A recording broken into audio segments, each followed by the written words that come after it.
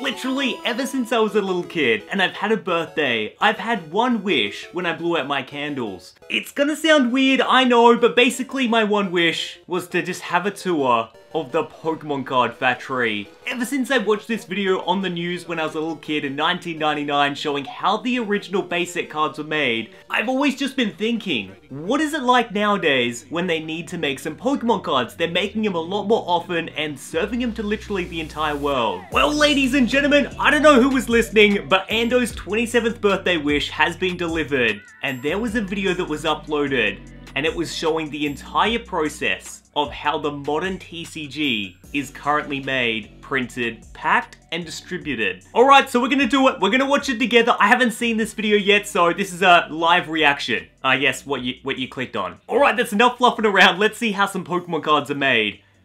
Alright, so it's, yep, oh, the Pokemon trading card game.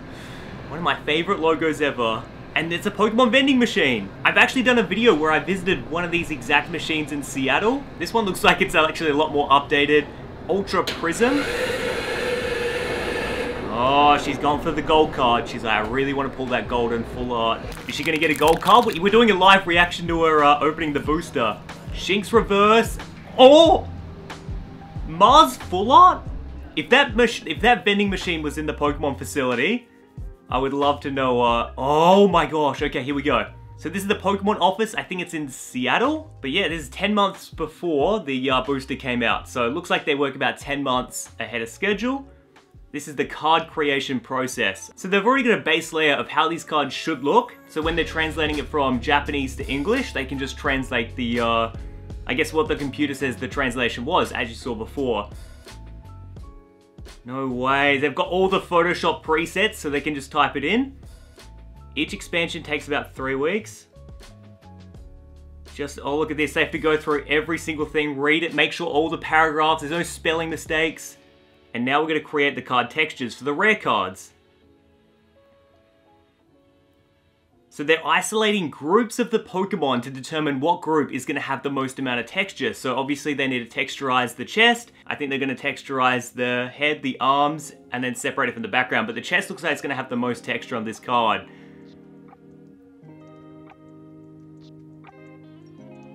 Whoa, this is an uncut sheet of full art cards.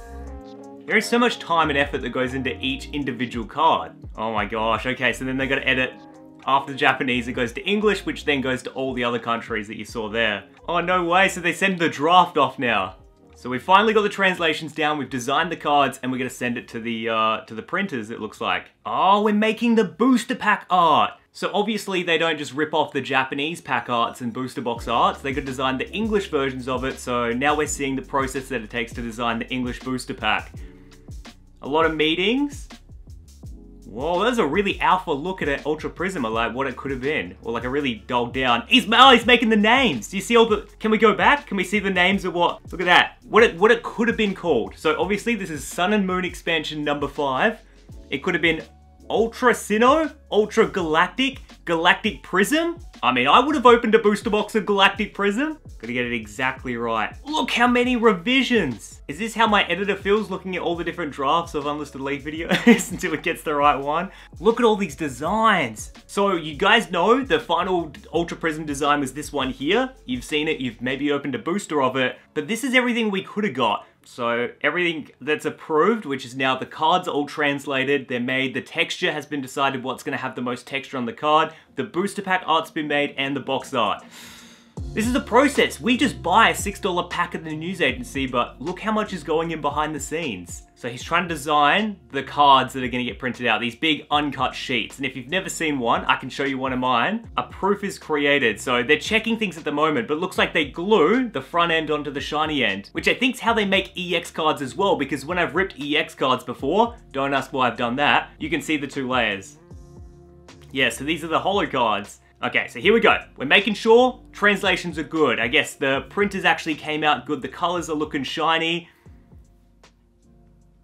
Now the uh, swirls in the texture the right way. The reverse cards, I guess, are looking good. Whoa, magnifying glass, make sure these are like bang on. Before printing begins, all right, what are we looking at here? Lamination. What are we laminating exactly though?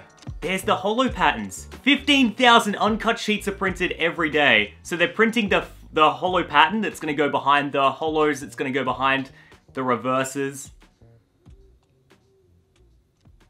No way. The magic continues. So we've printed 15,000 holo sheets.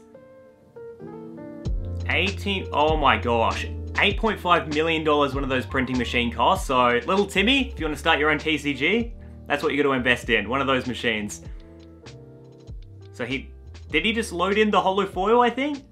And he's loading in the ink as well. Oh, he loaded in the paper, it would have been. Because then the ink's going to print, I guess, obviously, the uh, Pokemon cards. So it looks like a lot of scanning of the colors to make sure the colors are correct. Which is why I think when you get those error cards like I unboxed in Evolutions that weren't the right color, it was such a big deal because of the amount of quality control that goes on. That's actually hard to hard to come by. So what he's doing now, apparently he's going against, so he'll print two copies off and he'll make sure that the two look exactly the same because if one looks different to the other, then all of them are just going to be different. So he likes to print off double copy, he'll make sure they're both the same, and then he goes, print 50 million thousand of these cards. Oh, we're cutting the cards now. So we've printed, we've made sure that they're all going to print the same, they all look identical. Now we're going to cut the cards out of this uncut sheet, which I'm going to take some tips from, because I've got an uncut sheet. I've thought about cutting it. Let's see what it takes. What do I need? Bruh, look, it just mows through those thingies. Didn't look too crazy difficult to cut those, but they would come out square, wouldn't they? Yeah, they're square, they're square cards. Okay, so how do we get around the edges? How do we round these puppies? The corners are cut for... Whoa, look at that machine on the right. Bruh. Did you see that? Can we do a replay? Let's do a replay of the machine cutting the round corners. It's got slices, and when it goes up, it slices it all. Okay, that's a miscut Greninja. But you know, knowing the Pokemon Company, they'd probably pop it in there for the lols anyway. So it looks like they roughly, they check the cutting machine, make sure that the borders aren't too crazy before they give the A-OK and print, I mean, cut 50,000 cards out, but... Oh, the code cards! No way, we're getting to see this as well? So the blank code cards are fed into a machine. And if code doesn't work, then uh, it's put to the side. So that's how you always have a working code. And what, it, what did it say about the weights? It said something about the weights there. Card weight varies to prevent pack weighing cheaters. They're very, that's very bland, but yeah, it's 100% true. So, as you guys know, the reason why there is different colors and different packs if you get a hit is because they weigh different amounts, so you can't weigh the packs at the card shop. Okay, the booster pack time. The quality control pack out. Another probably $8 million machine. This is just blowing my mind right now. I don't know if you can tell. It's like almost like cling film, isn't it? Or alfoil, but thinner.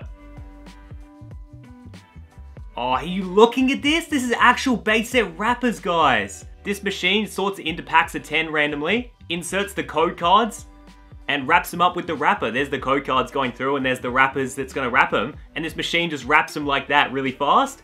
Then they weigh it to make sure 10 cards are in there. This person right here puts the six into a booster case, seals the booster case, and that's what's sold. And they put the sticker on. I didn't know they did that manually. I would have thought a machine could have done that, but I guess like I'm happy that there's jobs. Like, that's the main thing. All the theme decks, we're getting bonus footage. Printing of the boxes begin. You're gonna need some thick cardboard for this stuff. Those, like, theme decks are so ridiculously thick. Embossing plates to make the uh, theme decks. That was sick. So it looks like they embossed the cardboard with those metal plates. And then they, yeah. Oh my gosh, these metal plates make 1,800 impressions an hour. Looks like there's about six, I think.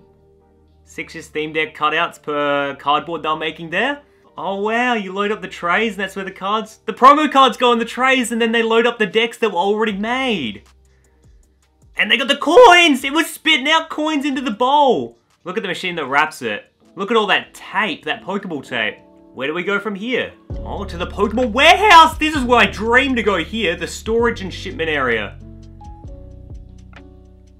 Oh my, look how many Pokemon cards would be in there. That would be the most awesome sight in the world to see in person. All of these are Pokemon cards ready to be distributed around the world to little Timmy's Walmart so he can buy a booster pack. Oh my gosh, look how many crates there are. These are all cases. Is this not the most eye-opening video you've ever watched on the internet? My mind is literally blown watching this thing.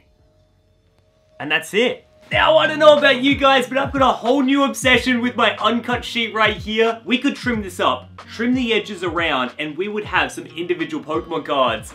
This is just the uh, the Neo set right there from the 2000s, but it's an uncut sheet and I was lucky to have that. I've got a whole new obsession with it now. But hopefully you guys at home found it really, really interesting. Demolish the like button if that was the case and hopefully Pokemon continue to, I guess, open the door and let us see cooler things like that. Let me know what you thought in the comments, but most of all, keep on gaming.